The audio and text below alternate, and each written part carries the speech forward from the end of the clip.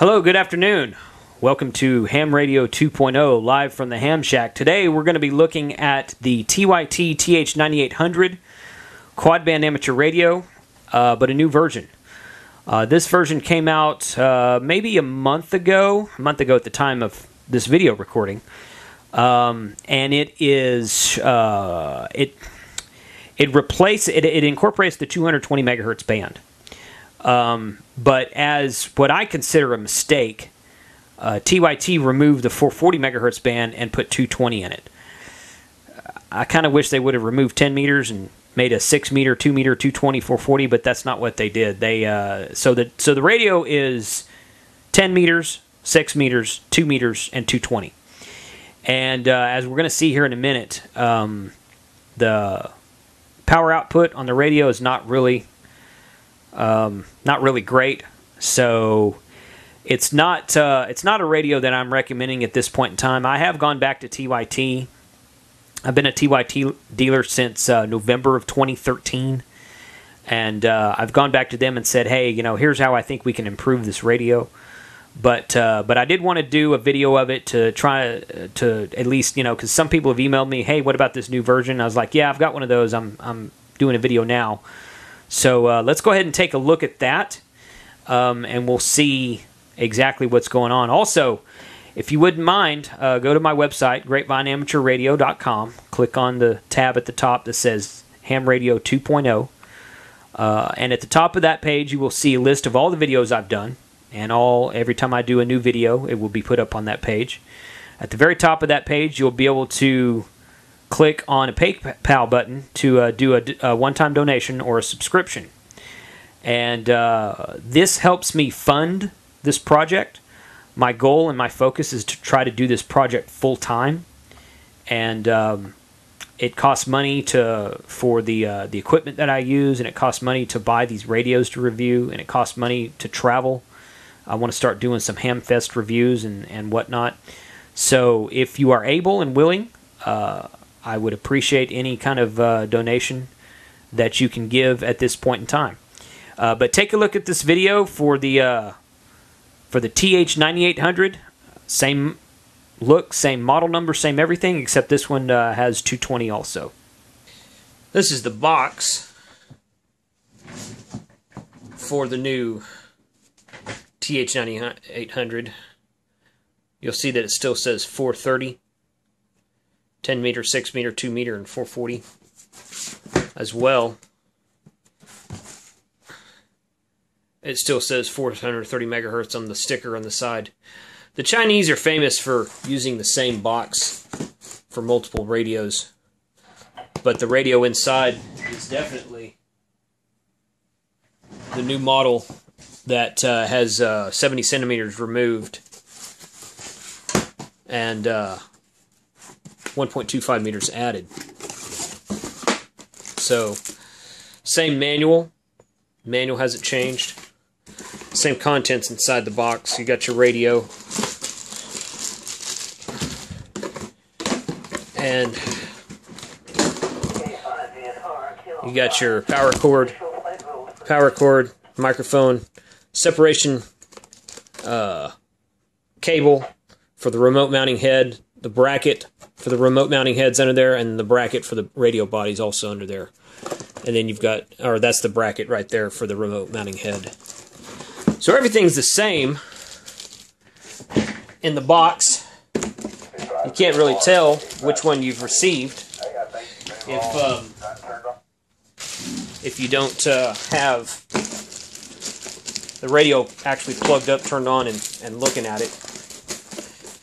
So that is that just uh, I assume that probably over time, if they continue making this radio, uh, well, number two things. I assume number one, if they continue making this radio, they're going to have to improve it, or they're not going to sell any. Number two, over time, if they continue making this radio, it'll probably uh, they'll update the box and the manual and everything to reflect the, the correct frequencies as well.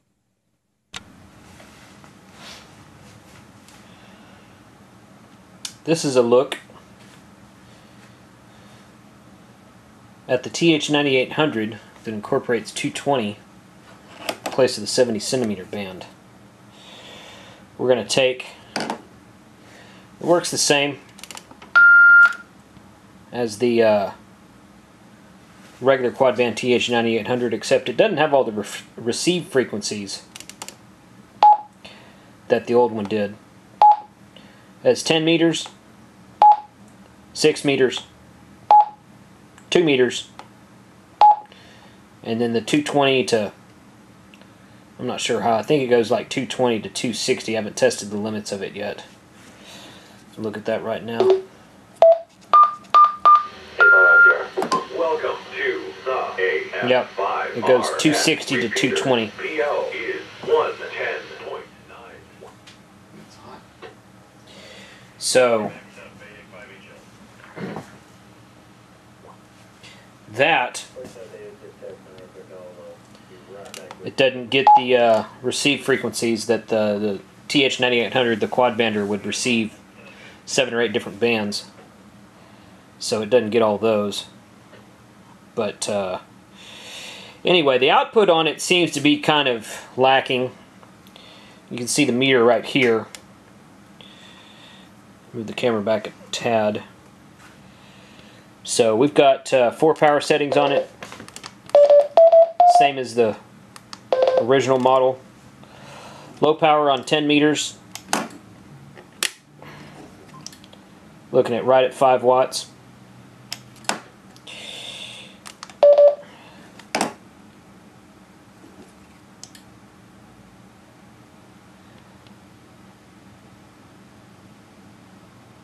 Mid 1 on 10 meters, you're looking at uh, about 10 watts.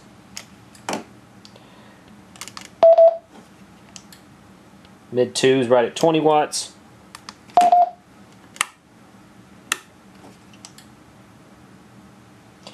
And then high power is right at 20 watts also. It seems to be kind of common. High power on 6 meters right at 20 watts.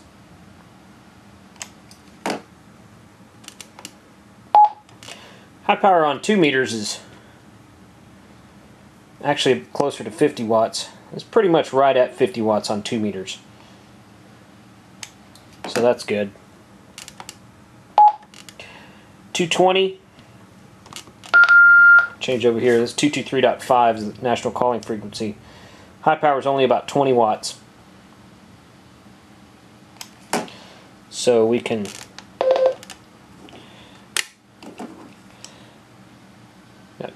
turn it down all the way. 5 watts on low. About 10 watts on high. About 20 watts on, I'm sorry, that wasn't high. 10 watts on low, or I'm sorry, 5 watts on low, 10 watts on mid 1. Mid, mid 1 is the higher one, 20 watts and then turn the scale up on the meter. It's only it's only pushing about 20 watts on high power on the 220 band. Now compared to the, as I said a minute ago, compared to the uh, tri-band, in, or the, I'm sorry, yeah, the tri-band mobile that Anytone's been threatening to release for about six or eight months, the um, Power output on 220 on that radio is only going to be about 25 watts also. It's going to be about 50 watts on 2 meters. And uh, move that up there. 50 watts on 2 meters, 35 watts on 440, 25 watts on 220, roughly. It'll vary a bit across the band probably. So this one is seems to work okay. I'm going to put it on the antenna here shortly make a couple of contacts with it, hit a couple of repeaters with it, and we'll see how that works. Okay, so there it is. The TYT TH9800 quad band amateur radio where they removed 440 and added 220. Um, you know, I ordered this radio as a test, and after uh, what we've just seen here, I don't plan to order any more.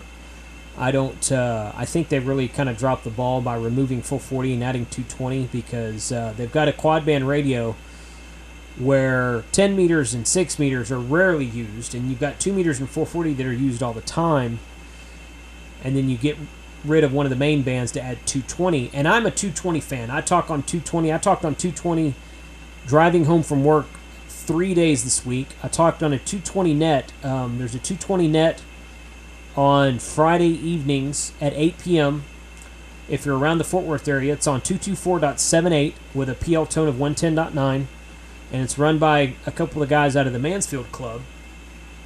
And uh, it's a good net. They usually have, I don't know, anywhere from 8 to 10 to 15 check ins, something like that. And for 220 on a Friday night, that's pretty darn good.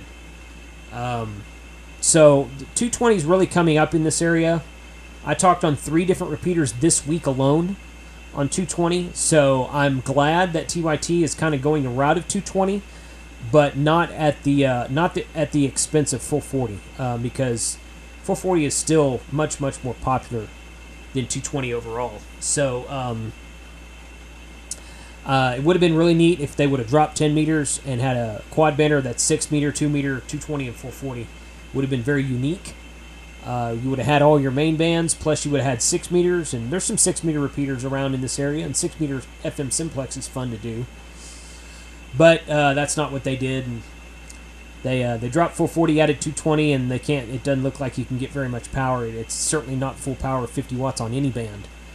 Um, so uh, so I was kind of disappointed with that. I've got the radio sitting right over there. Um, I don't know what I'm going to do with it. I'm probably just going to leave it there.